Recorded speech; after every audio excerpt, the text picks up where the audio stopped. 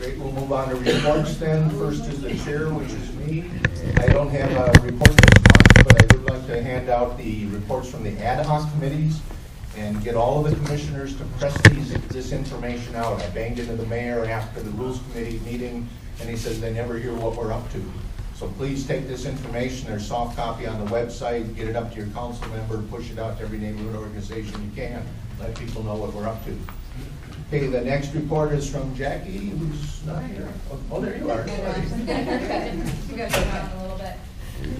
Council liaison. Welcome, Jackie. Hello, everybody, good evening.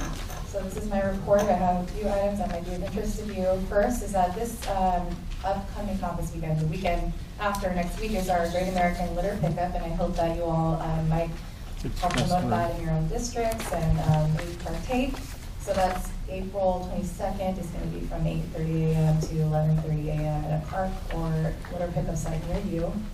Um, A few things that happened at council. Um, So we're recruiting a new independent police auditor. Walter Katz resigned and um, it was effective April seventh. So there are community input meetings.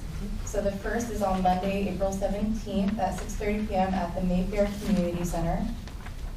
Um, The second will be Thursday, April twentieth at six thirty PM at, um, here in City Hall, uh, in the, in Wing Room nineteen, so here, right here. So, uh, Second, and Zulma may speak a bit more to this, but the city, um, or the council allowed the city to file a friend of the court brief or um, this Curry brief um, challenging the executive orders on immigration, also known as a travel ban, um, for, which um, targeted Muslims and refugees. So that's something that happened. And another is the mayor's March budget message. Um, I can't share too much. I think that there are reps from the mayor's office that might speak to it later in this meeting, or you all should check it out online. But we did have a deficit this year. Our five-year forecast looks like we're gonna have more deficits. And so, um, here are some of the priorities that the mayor had outlined. The first is public safety and disaster preparedness. Second, flood recovery. Third, investments that produce long-term savings, revenues, and efficiencies. Fourth, investments that leverage external sources of funding.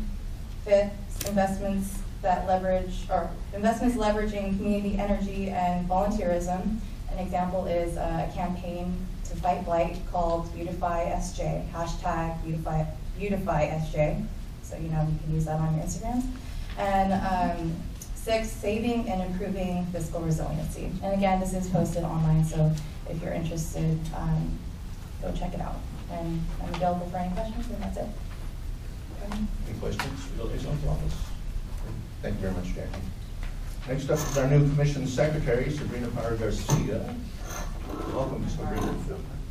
Hi, everybody. Nice to meet you. Those of you who haven't met me officially, we can talk after the meeting. We will. Um, Jackie actually took some of, one of my announcements, and just so you guys know, there are extra flyers for the Great American Litter Pickup on the table over here.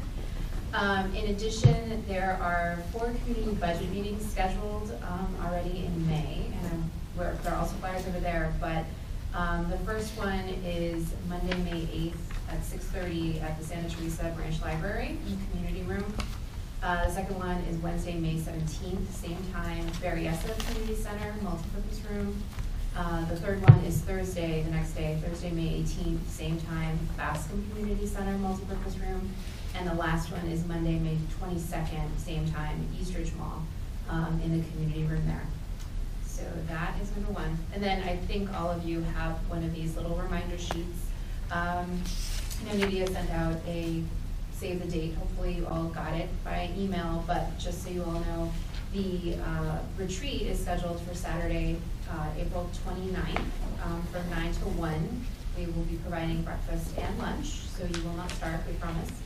Um, it'll be the Almaden Community Center, um, and we're working on the agenda right now. Actually, this week we had the opportunity to sit down with the chair and the co-chair to go over that.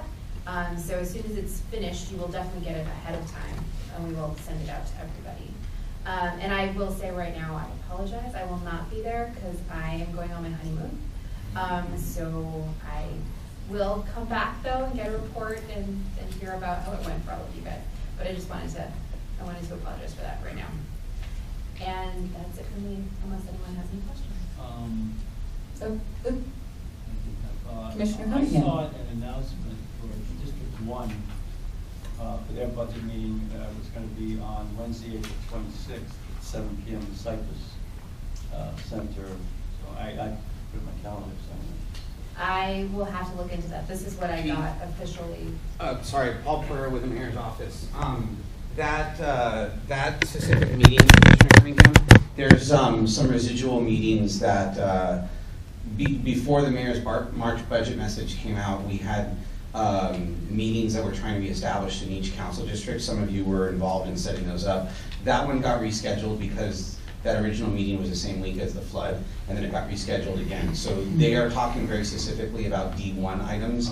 The meetings that Sabrina just mentioned are citywide budget meetings, so there is a difference. Right, thank Yeah. you, thank you. Thanks, Paul. Any more questions for Sabrina?